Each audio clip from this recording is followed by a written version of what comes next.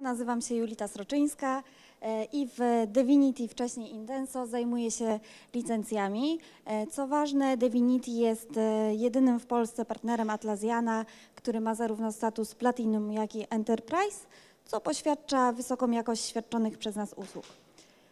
No i pokrótce opowiem dzisiaj Państwu o ekosystemie Atlassiana, czyli o rodzajach licencji, o ich wielkościach i, i kosztach. E, Powiem również, podam również kilka przykładów tego, jak ułatwić sobie zarządzanie licencjami. No i na koniec, jeśli będą Państwo mieli pytania, to oczywiście na nie odpowiem. E, Licencje Atlassiana w większości występują w trzech wersjach. Jest to Cloud, Server oraz Data Center. Jeśli chodzi o cloud, to jest to subskrypcja roczna, którą co 12 miesięcy trzeba odnawiać, żeby działała, no i jest ona, e, e, jest ona hostowana w infrastrukturze Atlassiana. Jeśli chodzi o serwer, to jest to licencja bezterminowa z 12-miesięcznym wsparciem producenta. No i po roku takie wsparcie mogą Państwo odnowić i oczywiście dane przechowują Państwo na własnych e, serwerach. Mamy również Data Center, to jest e, również e, licencja, którą przechowują Państwo we własnej infrastrukturze, natomiast jest to subskrypcja roczna i ją również co, co rok trzeba odnawiać. Co więcej o cloudzie. E, Więc e, tutaj, no tak jak wspomniałam, jest, ona, jest cloud licencjonowany w środowisku Atlassiana, e, więc nie muszą Państwo zapełniać, zapewniać własnej infrastruktury. Jest też łatwy cloud w użytkowaniu.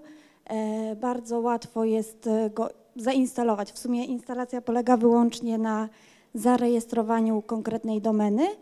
Co ważne, ta domena musi mieć końcówkę Atlassian.net, natomiast początek e, wybierają sobie Państwo własny.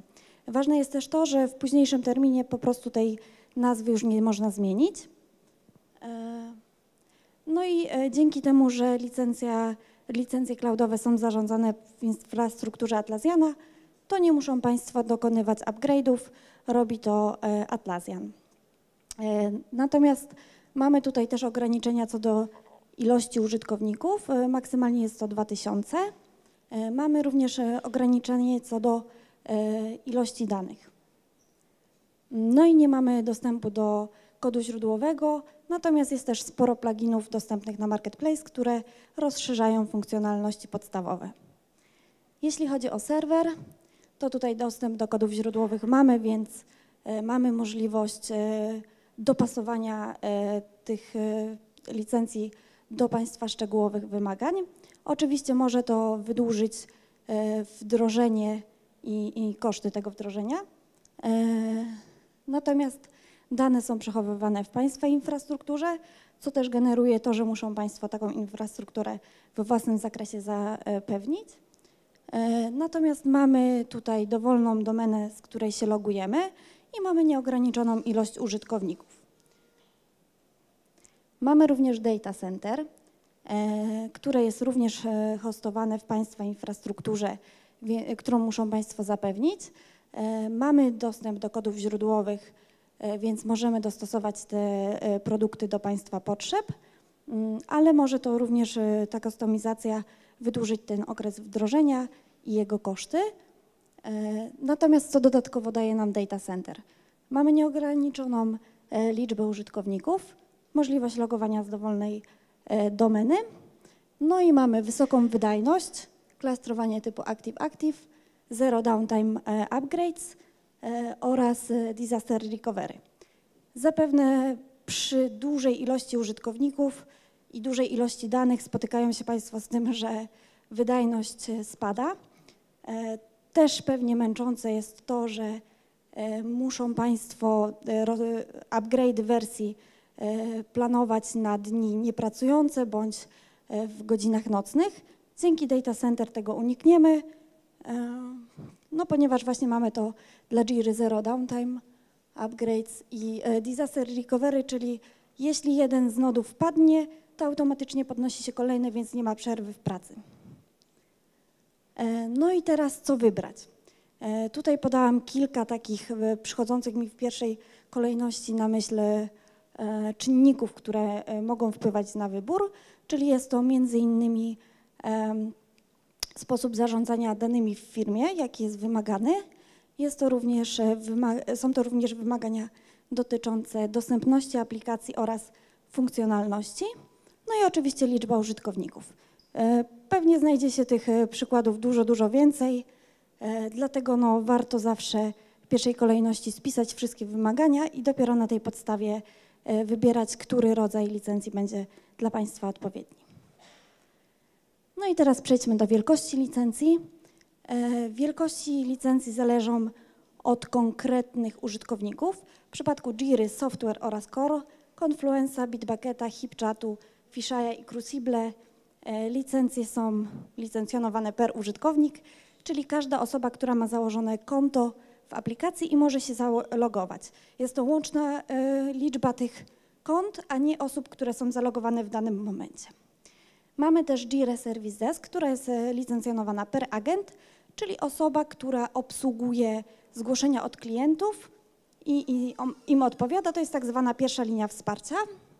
Sama ilość uży, e, użytkowników, tych customerów, nie wpływa na wielkość licencji, ponieważ oni mają osobny portal, tak zwany customer port- portal, z którego po prostu korzystają i z niego tworzą e, zgłoszenia. Mamy również Bambu, które jest e, licencjonowane per agent zdalny. To wygląda w ten sposób, że w licencji głównej mamy e, agenta lokalnego, który rozdysponowuje zadania.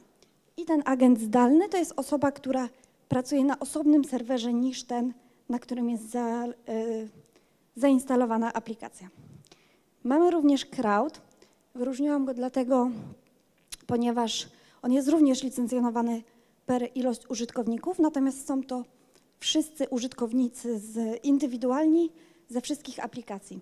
Czyli jeśli mamy na przykład Jira Software 250 użytkowników i Confluence 100 użytkowników i będziemy mieli powiedzmy 30 innych użytkowników e, niż w, Conflu, e, w Jirze niż w Confluence, no to szybka kalkulacja. 220 plus 70, 290 plus 60, bo 30 i 30, czyli mamy 350, jeśli dobrze liczę.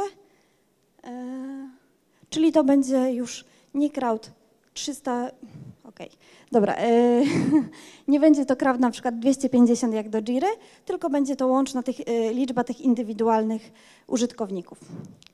I teraz mamy trochę więcej o wielkościach. Jira Software oraz Core i Confluence dostępna jest w trzech e, rodzajach, czyli jest to cloud, e, serwer i data center. W dwóch tych ostatnich jest to e, ilość użytkowników nieograniczona. W pierwszej jest to dwóch, 2000. Mamy również Bitbucket, który w wersji cloudowej dostępny jest wyłącznie w e, płatności miesięcznej. I tutaj mamy wyjątkowo nieograniczoną liczbę użytkowników na cloudzie. Natomiast serwer to jest 2000 użytkowników maksymalnie, data center 30 tysięcy. Mamy Fisheye i Crucible. W cloudzie to jest e, 2000, na serwerze Unlimited. Tutaj ważna jest jedna zależność, że Fisheye musi być przynajmniej w takiej samej wielkości jak Crucible, żeby działało. Czyli jeśli Cru- Crucible mamy na przykład w wielkości dla 50 użytkowników, to Fisheye musi być e, również dla 50 użytkowników, bądź wyższe, bo inaczej po prostu nie będzie nam działać. Oczywiście, jeśli łącznie używamy obu aplikacji. Mamy też HipChat do 20 tysięcy użytkowników na data center, Jira Service Desk we wszystkich rodzajach, Bamboo e, na serwer wyłącznie i e, Crowd na serwer i data center. E, Kolejna zależność, która jest bardzo ważna, to to, że mm, pluginy, czyli appsy, muszą być przynajmniej w takiej samej wielkości jak licencja główna, bo inaczej też nie działają. Czyli wytłumaczę to pokrótce na przykładach. Jeśli mamy na przykład G-Record dla 50 użytkowników i Jira Software dla, tutaj mamy dla 100, to aplikacja musi być, do, to plugin musi być dopasowany do tej wyższej Jiry, czyli w tym przypadku będzie musiał być zakupiony również dla 100 użytkowników. Jeśli mamy na przykład Jira Software 500 użytkowników i Jira Service Desk 15, no to plugin będzie musiał być y, też do tej wyższej dopasowany, czyli do 500. W przypadku Confluence plugin będzie w takiej samej wielkości, tak samo będzie również w Bitbuckecie. No i teraz trochę o kosztach. E, jeśli chodzi o odnowienie wsparcia bądź licencji, to w przypadku cloud oraz data center e, odnowienie subskrypcji, e, koszt odnowienia subskrypcji jest taki sam jak koszt zakupu nowej licencji. W przypadku serwera koszt odnowienia wsparcia to połowa ceny zakupu nowej licencji. No a co daje nam wsparcie? Przede wszystkim support Atlassiana. Mamy też dostęp dzięki wsparciu aktualnemu do e, licencji deweloperskich, czyli możemy sobie tworzyć środowiska testowe. I mamy oczywiście też e, dostęp do aktualizacji, czyli nowych funkcjonalności. W przypadku clouda te upgrade'y są dokonywane bezpośrednio przez producenta. Co dalej? Jak, wygląda, jak wyglądają koszty rozszerzenia? W przypadku data center i cloud są one zależne od tego, jaki okres pozostał do końca subskrypcji, więc to jest zawsze wyliczenie indywidualne. W przypadku serwera wzór jest dosyć prosty. Bierzemy cenę e, nowej licencji w tej wielkości, do której chcemy zwiększyć e, e, aplikację i odejmujemy od tego połowę ceny zakupu nowej licencji, w jakiej obecnie tą aplikację mamy. No i teraz przejdźmy do paru przykładów. E, przede wszystkim, gdzie możemy sprawdzić, jakie mamy licencje, do kiedy, e, jaki jest numer sen licencji, czy kto jest kontaktem technicznym. Jest to strona My. E, tutaj niestety nie działa mi pstryczek na monitorze, ale jest pozaznaczane w pomarańczowych kółeczkach, gdzie mają Państwo właśnie klucz do licencji. To jest też bardzo ważne, że ten klucz do licencji pobieramy ze strony My. Jest też wskazany kontakt techniczny, numer sen licencji, jest e, przycisk do wygenerowania e, licencji deweloperskiej, no i mamy też wskazany okres, do którego e, wsparcie jest ważne. Tutaj też często pojawia się takie pytanie od klientów, że a gdzie ja mam znaleźć, ja nie wiem, kto jest właścicielem tych aplikacji, ja nie wiem, jaki jest numer sen, gdzie ja to mogę znaleźć? No to pierwsza odpowiedź to jest na My Atlassian. Druga taka podpowiedź, jak łatwo tym zarządzać, to albo stworzyć dedykowanego maila e, na My Atlassian, do którego dostęp dostanie kilka osób. Czyli to może być na przykład Atlassian i domena państwa firmy, czy e, będzie to My Atlassian, czy licencje, czy IT, bądź e, dodanie kilku osób jako kontakty też techniczne. Dokonując y, zakupu można wskazać tylko na początku tylko jedną osobę, natomiast ta osoba właśnie z poziomu, y, z poziomu My Atlassian może dodać y, kolejne kontakty techniczne, tutaj właśnie, gdzie mamy pole Add.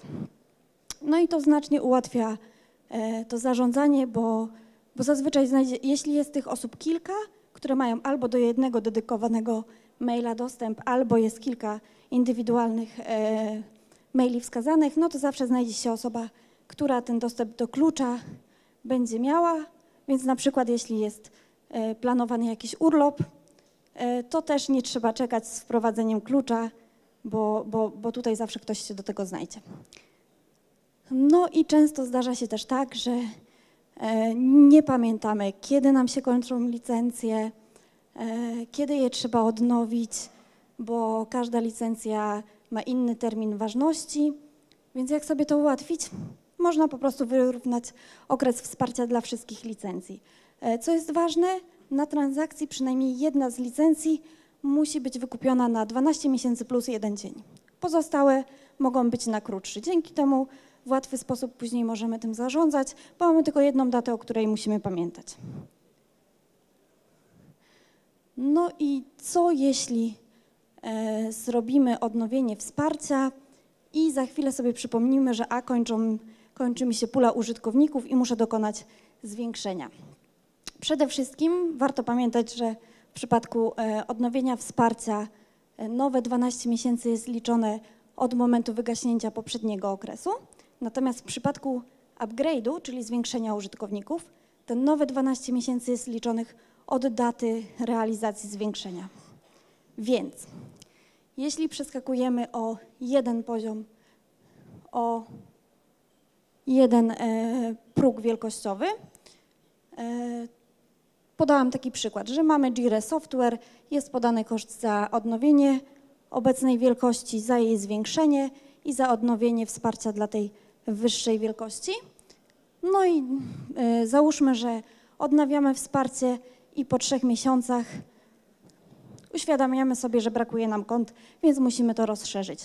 W przypadku tej licencji e, e, odnowienie wsparcia plus rozszerzenie e, będzie to koszt 13 200 za 15 miesięcy, przyjmując, że upgrade robimy po trzech miesiącach, czyli wychodzi, że miesięcznie kosztuje nas to 880 dolarów. Jak to powinniśmy zrobić?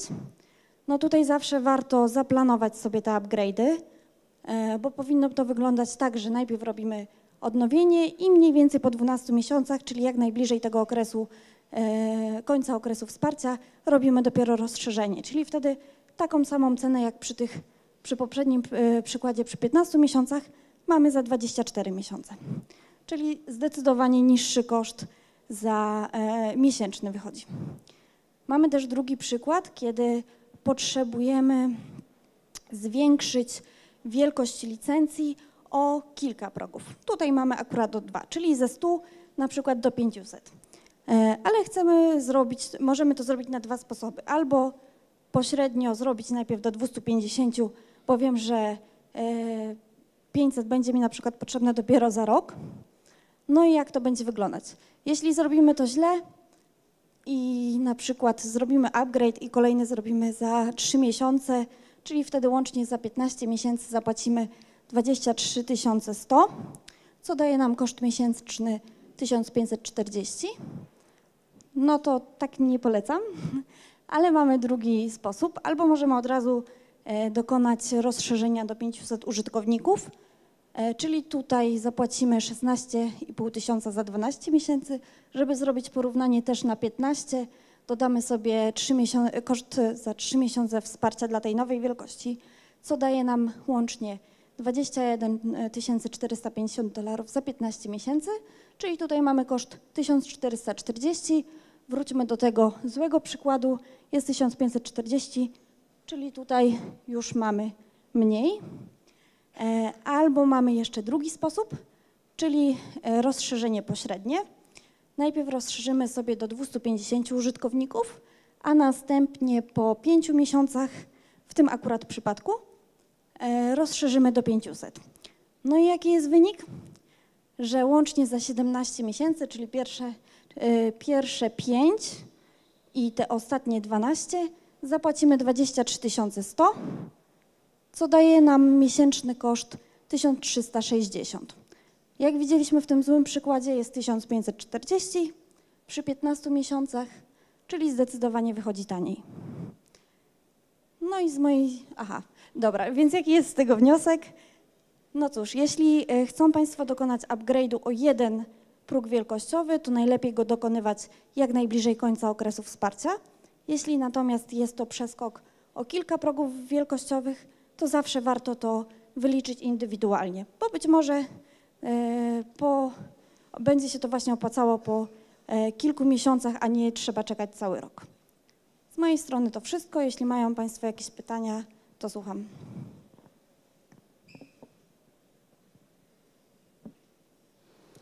No dobrze, to tak?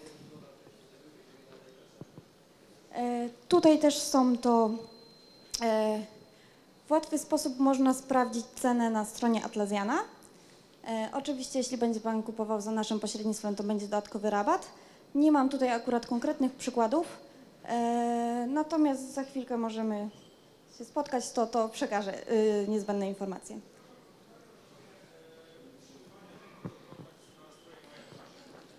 Koleżanka tylko podejdzie. Mam pytanie na temat utrzymywania technical contacts na stronie mhm. MyAtlassian. Czy można to zrobić baczowo dla wszystkich licencji dla danego konta? Czy tylko jedna osoba może to robić ręcznie dla każdej licencji? Ręcznie niestety. I nie ma opcji zautomatyzowania tego? No nie na tą chwilę przynajmniej. Przykro mi. Dziękuję. Czy ktoś jest...